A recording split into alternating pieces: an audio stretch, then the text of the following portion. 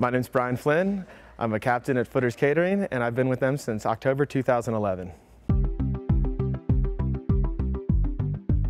This might sound a little cocky, but the best food to describe me is definitely a burrito because I'm all these amazing things rolled into one. As captain, I facilitate all things catering related and sometimes things that aren't. I want to make sure that the entire event goes as smoothly as possible and that both client and guests have a spectacular time. I love working here because of the awesome coworkers I get to see on a regular basis.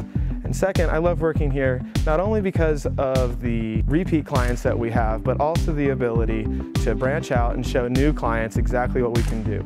I couldn't pick a favorite event, but I definitely have my favorite parts. And probably my most favorite part is setup. We walk in and get to transform it into something spectacular, something that awes the client and the guests. When I'm not at work, you can find me in a couple places. First, throwing some discs, out on the range, or strapped to this, sliding down some mountains through powders and trees.